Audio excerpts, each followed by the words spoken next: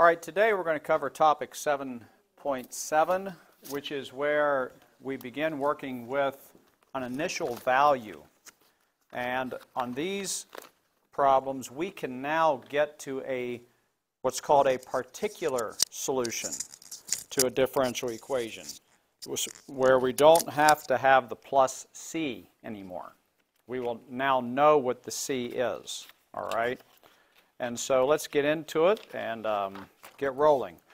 Find the particular solution, y equals f of x, to the given differential equation with the, here's important words, initial condition, f of 0 equals negative 2. Okay? So the first thing we have to do is separate variables. All right? So we've been doing that for a couple days. So in this case, I can just cross multiply, makes it fairly easy, and I have y dy equals x plus 1 dx when I separate my variables. All right? And from this point on, it's, again, still what we've been doing. We're going to work on solving and get to a general solution first. So the next thing we're going to do is integrate both sides. y dy equals the integral of x plus 1 dx. And we know that the antiderivative of the left side would be y squared over 2. And the antiderivative of the right side would be x squared plus x plus c. All right, just working through regular antiderivatives. And this is where, if I wanted to solve this for y, like we've been doing, I could. But at this point, this is where I'm going to give you a big tip. This is where we want to plug in our initial condition.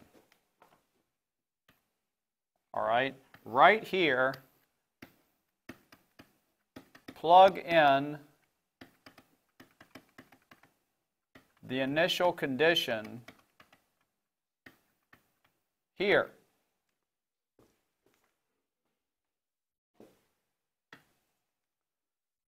So when we plug that in, and by the way, this is x squared over 2, what are we plugging in?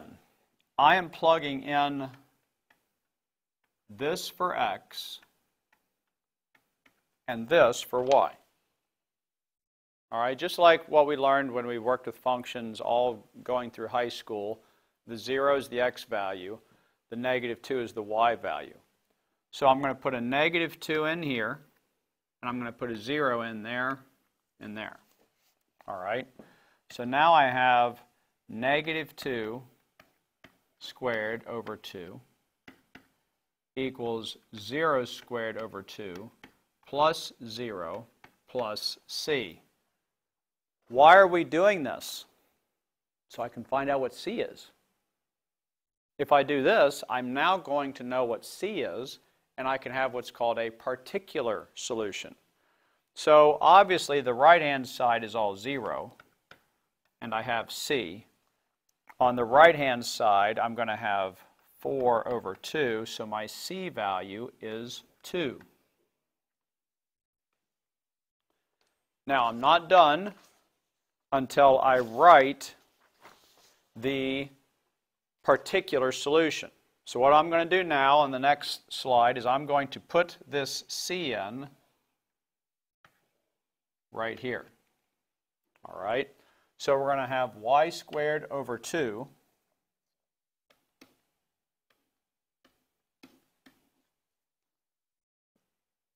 equals x squared over 2 plus x plus 2. Okay? If I'm going to solve this for y, I would multiply everything by 2 next. Okay? 2 times this side, 2 times this side as a quantity, of course. So now I have y squared equals x squared plus 2x plus 4.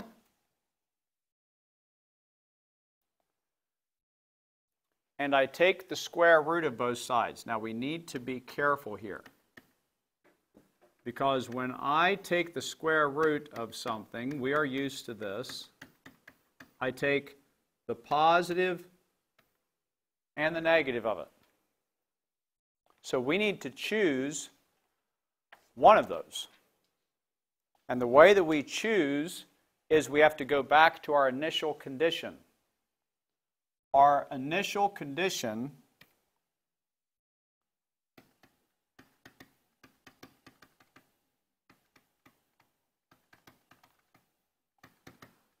is negative. Let's go back to the original problem. Our initial condition was a negative 2. So that tells me that I need to select the negative.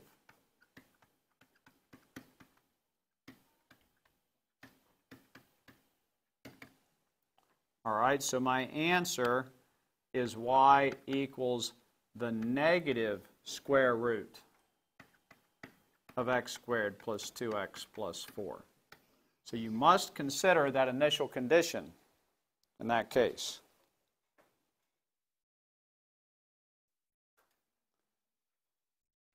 All right, let's look at another one.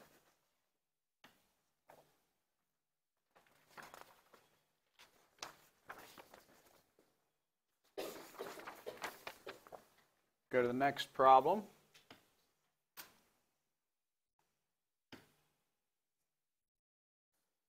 Which of the following is the solution to the differential equation dy dx equals x squared over y with an initial condition? Go ahead and start uh, separating the variables.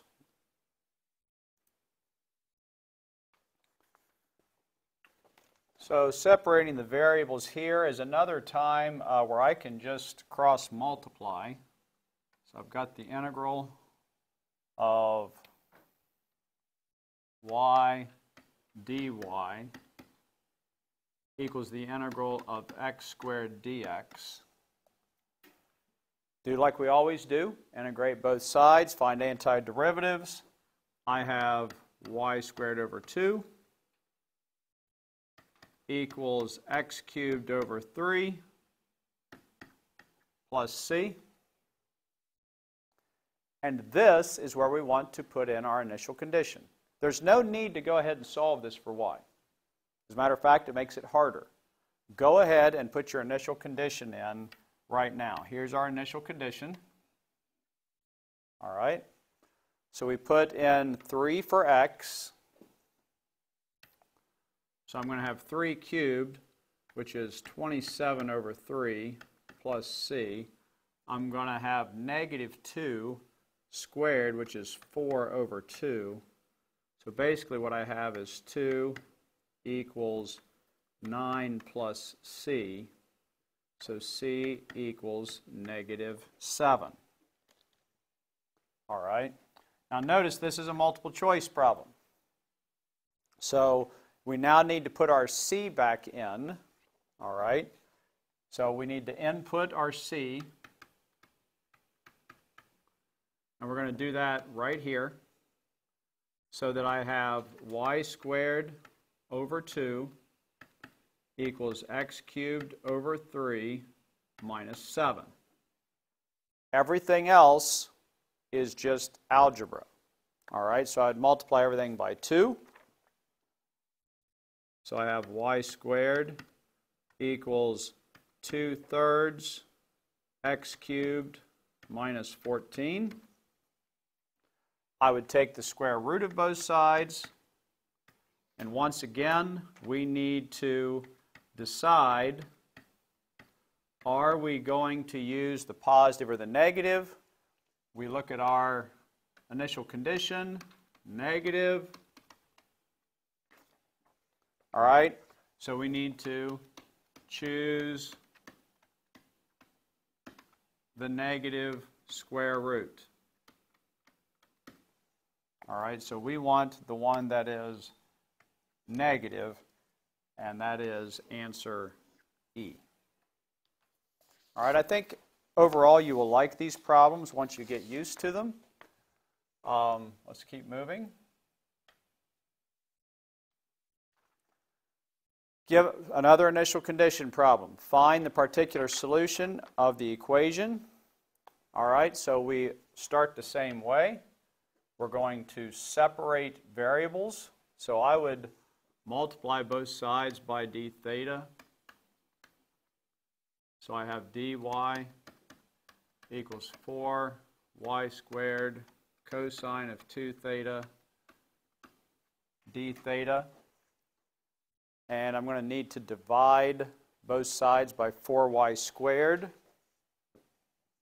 So that leaves me with 1 over 4y squared dy equals the cosine of 2 theta d theta.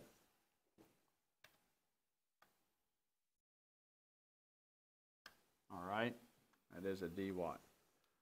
So what I would do to clean this up is I would bring out a 1 fourth in front of my integral. And I'd make this 1 fourth the integral of y to the negative 2 dy. Over here, we're just going to leave it as is. All right. On the left-hand side, we're going to use the power rule. So I add 1 to my negative 2, so that, that's going to make this y to the negative 1 over negative 1 and that's multiplied by 1 fourth. On the right hand side, I need to do a substitution.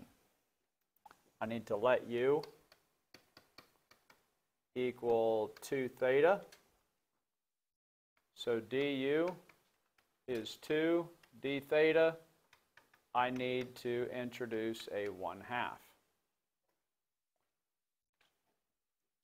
So on the right side, I've really got, I'll squeeze another little step in here, 1 half the integral of the cosine of u du.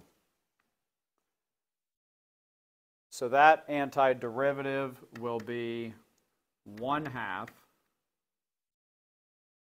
The antiderivative of cosine is sine. 1 half the sine of 2 theta plus c. And this, again, is the best place to put in your initial condition. Okay, we've got an initial condition up here. So let's put it in now. Uh, the left side, we can clean up the left side. The left side is actually negative 1 over 4y. All right, and um, that equals my 1 half sine of 2 theta plus c. And now let's put in the initial condition. So my x value, or my theta value, is pi halves. So 2 times pi halves is pi. So I really have 1 half times the sine of pi plus c is equal to negative 1 over 4 times 1, which is just 4. Okay? And what is the sine of pi? Isn't it 0? That makes this nice. So the sine of pi is 0, so that means c is equal to negative 1 fourth. All right. And once I know what c is, then I can find my particular solution. So I have negative 1 fourth, I'm sorry, negative 1 over 4y equals 1 half the sine of 2 theta minus 1 fourth. That minus 1 fourth is our c value. Now, if I'm going to solve this for um, y, algebraically, um, I would multiply everything by negative 4. I would do negative 4 times this side, negative 4 times this side. Okay? And that's going to leave me with 1 over positive y equals negative 2 sine of 2 theta plus 1. All right. Algebraically, this is pretty easy to finish. If you remember, we're going to multiply both sides by y. All right. y times this side, y times this side as a quantity. All right, so that leaves me with um, 1 equals this mess times y, and I can divide both sides by that mess. So now I have y equals negative 1 over 2 sine 2 theta minus 1. Okay, we had to deal with this negative here, up here. All right. Let's keep moving.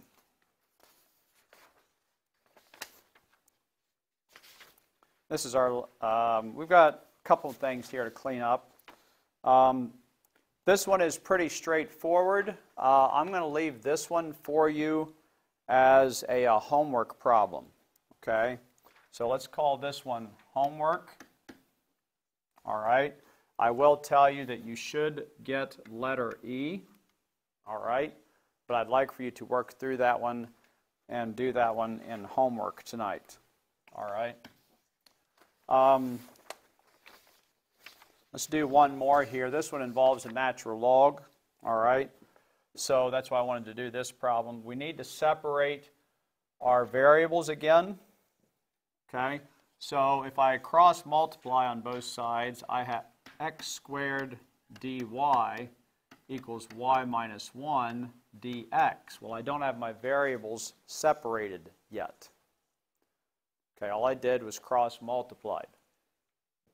Okay, so we have to have variables separated, which means I need to divide both sides by, um, I need to divide both sides by x squared and divide both sides by y minus 1 to get the variables together. So that leaves me with 1 over y minus 1 dy equals 1 over x squared dx. Okay?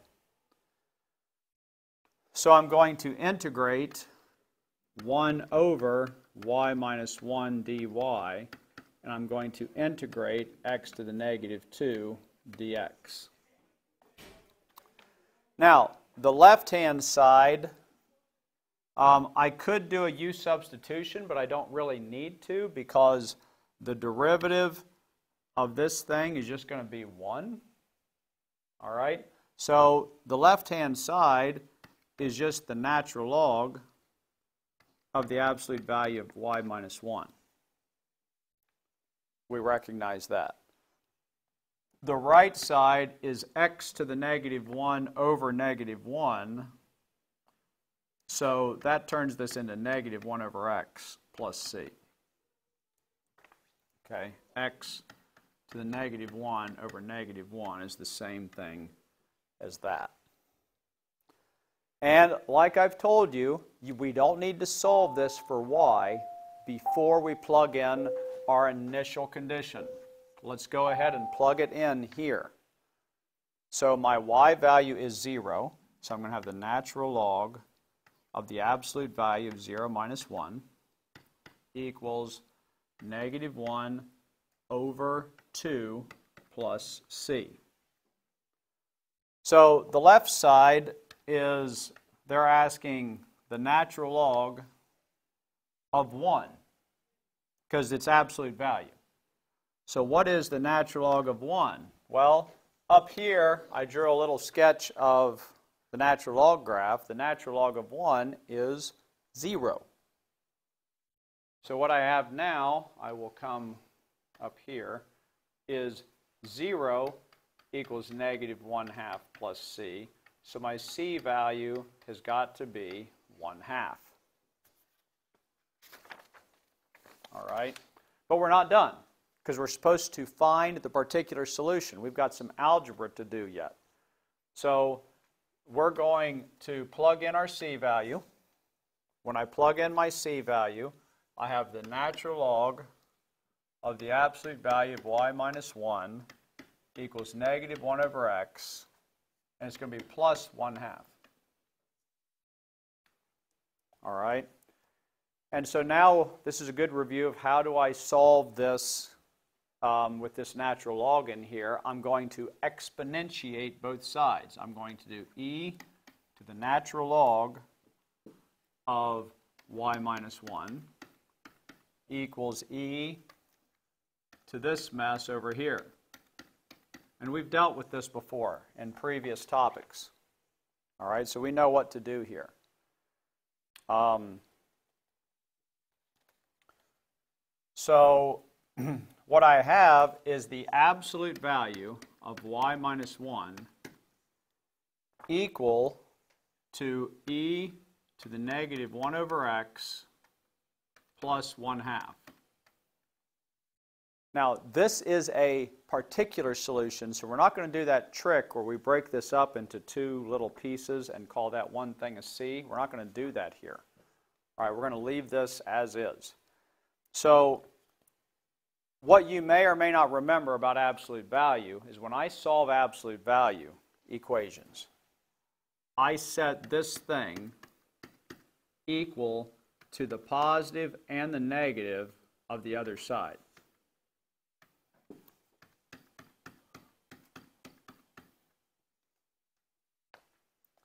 Like that. That's way back from Algebra 1. And the reason is there's two numbers that I can take their absolute value and get the same number. All right, so that's why we do that. So if I add 1 to both sides, I have y equals 1 plus or minus e to the negative 1 over x plus 1 half. All right. And if we look at our initial condition, my initial condition was that f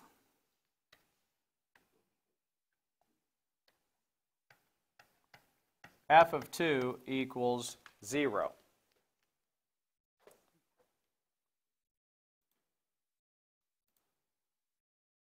And this initial condition says that when I plug in a 2, I want to get a 0. All right? So if I put a 2 in over here, I have e to the negative 1 over 2 plus 1 over 2, which is e to the 0, which is 1. Well, I want to get a 0 for my initial condition. And so I want this to be 1 minus 1 so that I get a 0. So when I write my particular solution, I need to write it with the minus e to the negative 1 over x plus 1 half. And we will stop there for today.